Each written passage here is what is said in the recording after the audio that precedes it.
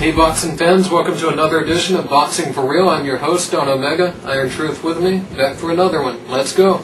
Okay, we're talking about upcoming fights this weekend. Looks like we got Jose Miguel Cotto returning against Ivan Hernandez. Um, this isn't the Hernandez Yeah. that fights at 122, just so you know.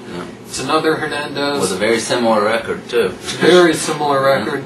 Uh, but anyhow, hopefully Miguel, Jose Miguel, the Brother. brother of Miguel Cotto, the good one, can um, get back on the winning track. He just came off a loss with Juan Diaz. Juan Diaz. No shame in that. No. He's a great fighter, and uh, maybe Cotto can be a really Better decent fighter fighter. Yeah. And uh, we'll see what he's got. Uh, he should knock this guy out pretty quick or maybe mid rounds. You know, he's not that much of a one punch guy. But right. Cotto's got some very good skills. Uh, good, he does everything real well. Nothing like absolutely spectacular, but he's got all the tools to do something. Um, I was surprised by his loss to Diaz. I picked him wasn't. to beat Diaz. I picked um, Diaz. yeah, and uh, Diaz is a good fighter, and so is Cotto. So hopefully Cotto can rebound and he can do something. So that's going to be on Telefutura for this week. Also this week, Anthony Peterson fighting. Uh, just another fight for him to get a win in, look good in. Yeah. And it's going to be in Tennessee with, under the Prize, Prize fight. Fight Promotions, Judah. Zab Judah's promotional super promotions Yeah, up. company joining up. So check that out. Good fighter, good prospect, up and coming guy. Yeah. Also off TV, Edwin Valero and Vicente Mosquera are going. Mosquera are going to be fighting each other. This looks like it could really be a good fight, Yeah. and they're not going to show it. Valero, of course, the guy that uh, the Venezuelan guy that's not allowed to fight in the U.S. because of a BS test of some kind, medical test Yeah. and he's fought all these fights overseas. He's 19 and 0, 19 knockouts. One fight went to the second round. All the rest the, first. all first the rest first round. Yeah.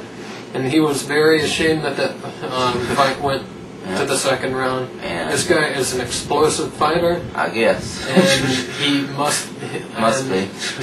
Vincente Mosquera, 24 1 and 1 with 12 knockouts. Um, not as explosive, clearly, Obviously. but um, it should still be a good fight. Not showing it. We would see it, but we won't. Sorry.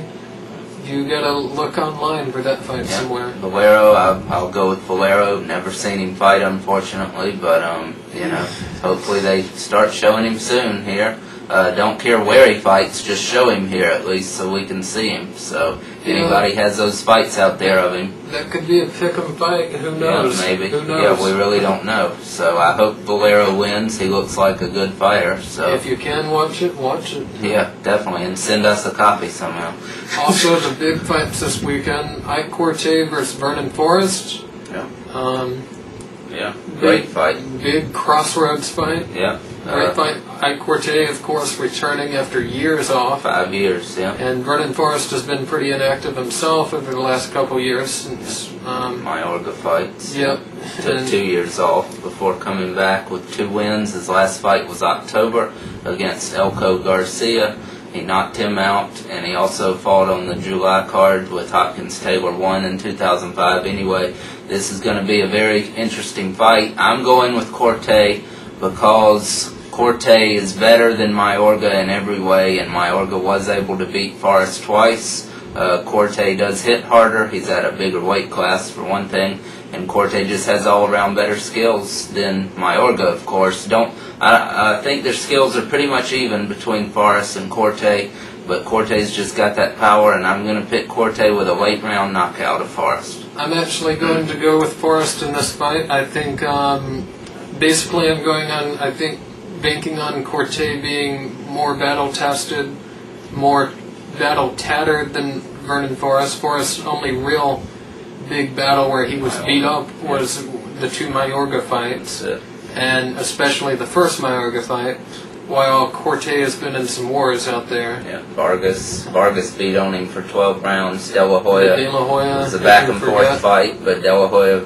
uh, took De La Hoya dished out some good punishment on Quartey. Could have been stopped in the 12th round. Probably really should have been. I think Forrest will use his height to his advantage and his reach, and I think he'll um, utilize that and just. I I think they're what about the same age, roughly Yeah, the same um, age, not about enough for 34, 35, yeah. And not enough for it to be an advantage. No. But Forrest has had some easier fights than Quartey, and that's what I'm banking on. That he'll just be less battle worn, I guess. we'll have to see. And I'll- I'll take-. I'll take Forrest either late, late round knockout or a decision. Yeah. I'm really leaning toward decision. Yeah, I can't see Forrest knocking Quartey out. Definitely. I could see it, but I don't think it'll happen. Yeah. Okay, and on the undercard, a great fight also in the junior middleweight division.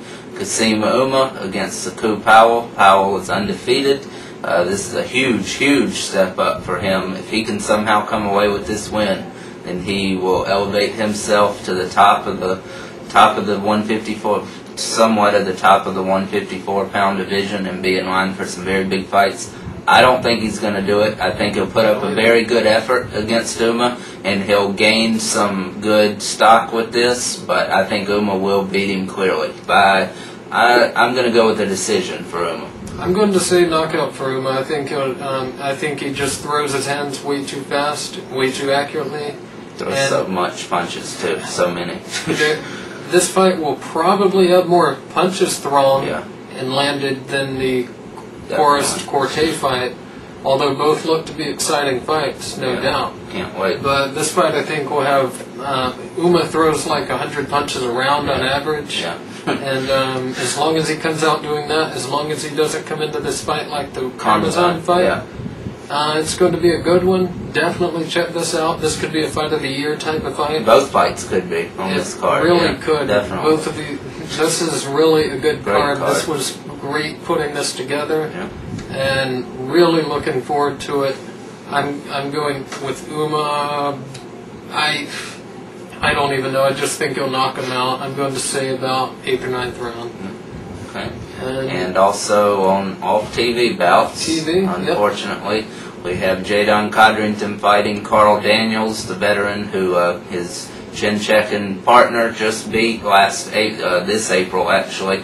Stevens beat him by decision, knocked him down in the first round. Looked like he had him out. Carl Daniels is a tough guy, tough veteran. Uh, Bernard Hopkins, of course, knocked him out in 10 rounds. Chad Dawson, the up and coming light heavyweight, knocked him out, I think, in seven rounds like two years ago.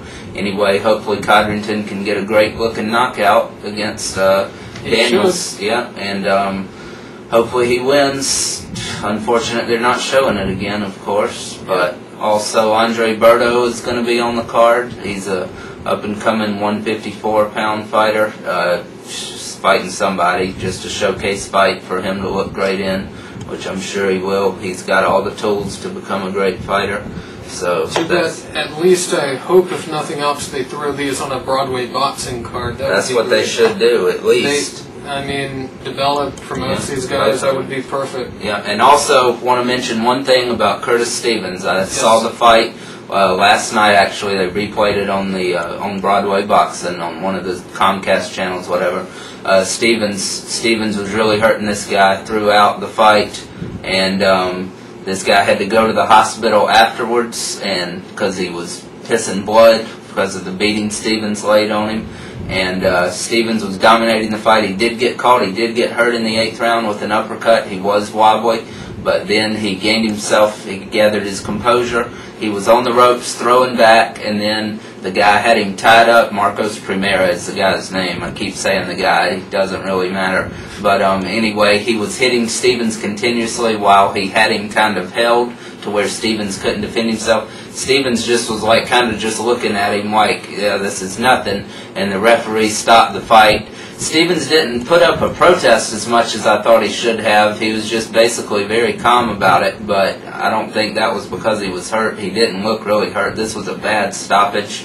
Um, by the way, there was no riot at all, like the reports were saying. Uh, Stevens and Codrington have been banned from New York for like 30 days. Uh, apparently, Codrington hasn't because he's fighting this week in Madison Square Garden.